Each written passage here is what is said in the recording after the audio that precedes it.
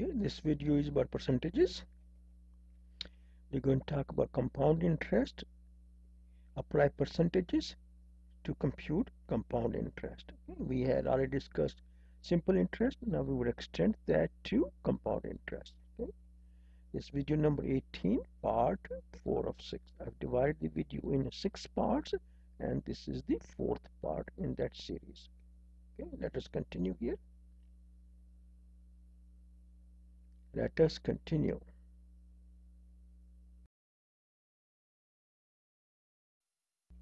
Now we look at next section here and next section is uh, compound interest.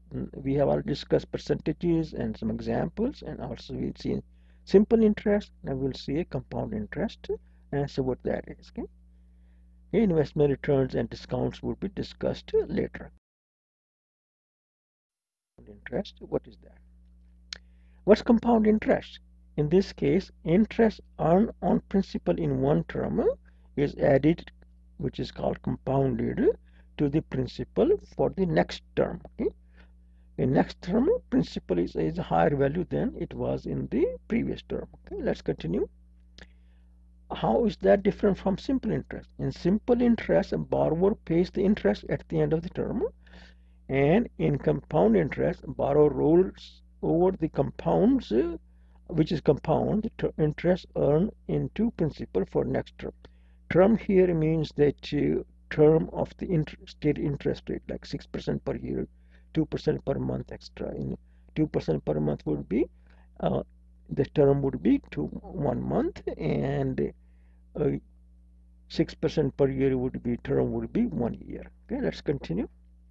Examples treasury bond paid interest periodically so it does has simple interest situation and it does not compound it does not roll over the interest into the principal and it's a simple interest situation okay?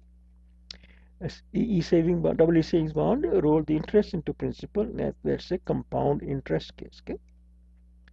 Let's continue a time deposit usually uh, roll the interest into principal okay? And uh, in USA they call certificate deposits and in India I believe they call them fixed deposits and uh, most some other countries might uh,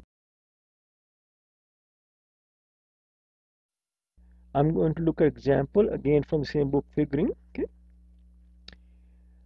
a $3,000 is lent at 4% per year interest rate with interest paid and compounded quarterly okay? so how much interest does the lender earn in one year okay? So principal value is $3,000 we just got from here okay? Interest rate at first quarter is one is a 4% per year and it's which would be equivalent to 1% per quarter okay? So 1% of $3,000 is $30 okay? Just move the decimal place to the left by 2 okay? Now principal value is at the end of first quarter is $3,000 by principal and $30 is, is the interest. We add, add the interest to the principal and now new principal value is $3,000 and 30 cents okay? Interest at second quarter would be at the end of for second quarter would be 1% of $3,030 okay which would be 3,030 cents okay it's 1% uh, per quarter. So that would be $30.30 okay. Now new PV would be $3,060 and 30 cents okay. 3060 decimal point three zero okay. So that's new PV going forward for the into third quarter interest at the end of third quarter would be one percent of that okay? thirty dollars and sixty cents. I just rounded that up and this this three here did not show up in the inter, uh, interest rate here. In USA the smallest unit of currency is one cent which is hundredth of a dollar okay? Let's continue here. New PV is I add $30.60 to 3060 dot 30 which comes out to $3,090 and 90 cents. Okay, let's continue here. Interest at the end of fourth quarter would be on this is say now this is the principal value going to fourth quarter and interest one is one percent of that which be thirty dollars and ninety cents ninety one cent which again we rounded them up okay? This was a nine tenth of a cent become a one cent and that's thirty dollars and ninety one cents we just rounding in okay so new principal value is add these two numbers together 3090.90 and plus $30.91 I got a 3121.81 so we have $3,121 and 81 cents. This is the final value and some folks might call it instead principal value call it final value FV okay? Total interest earned is three one this is the money was lent and this is the money was paid out to, to pay off the interest uh, loan. So 3121 decimal 81 minus 3000 is $121 and 81 cents. If you add this number together instead of interest $30 to $30.30 cents then add $30 60 cent $30 91 cent that should also come up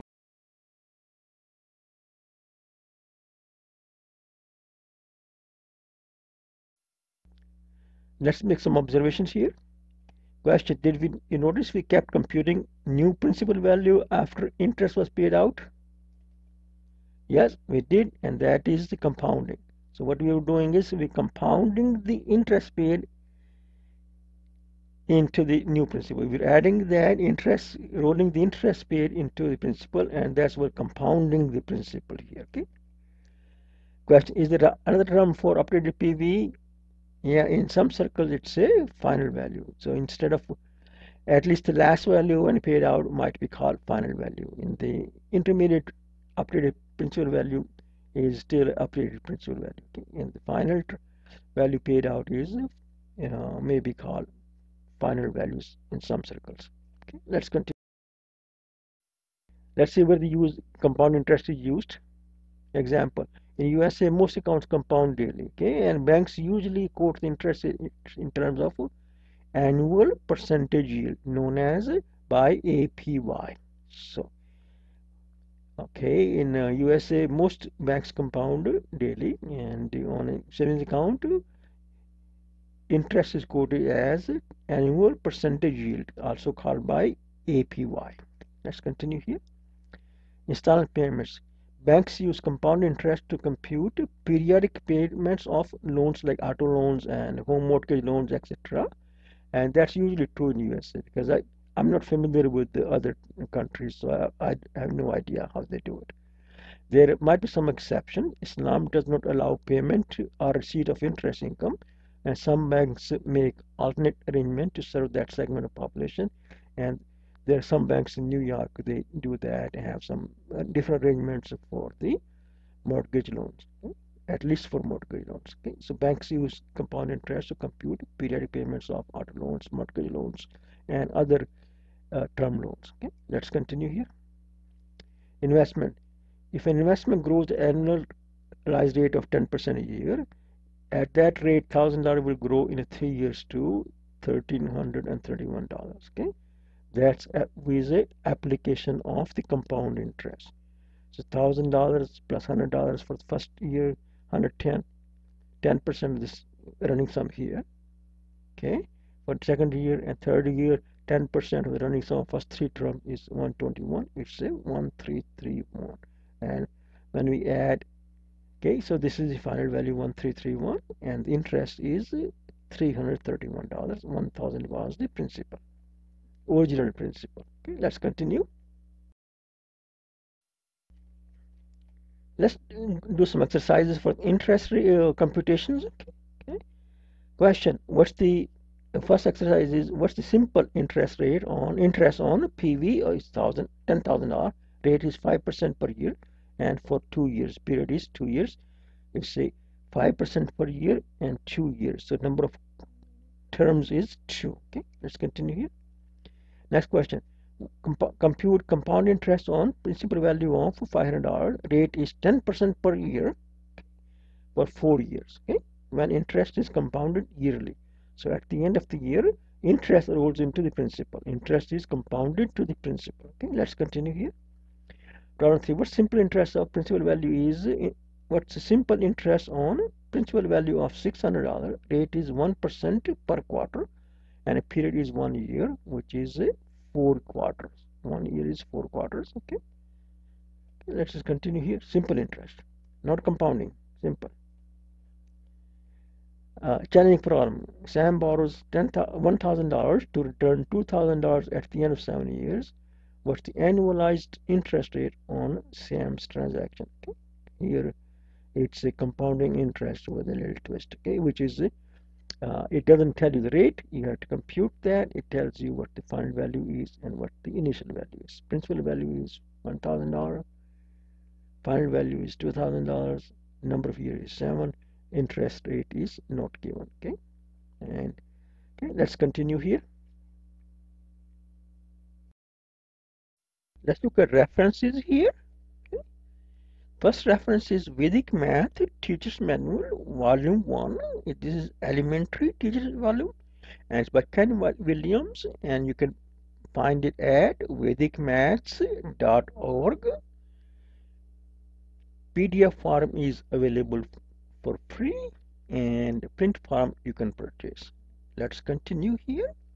Second reference listed is the common reference, uh, that's the primary reference, Vedic Mathematics by Bharti Krishna Tirthaji and that is the primary reference on the Vedic math. Tirthaji is a founder of the Vedic math. Let us continue. Now here is Discovery Vedic Math by Ken Williams. It's the most complete, authoritative, and consistent notations, and this book is organized by sutras. Let's continue here. Vedic Math for Schools in three volumes by James T. Glover. Mr. Glover used these books in his school. They were easy to read, very complete, not as complete as Williams' book is, and contains significant geometry which I have not covered at all. Let's continue here and figuring by Shakuntala Devi. I used some of the exercises from this uh, Glover's book and I used some of the examples from this book figuring. Let us continue here.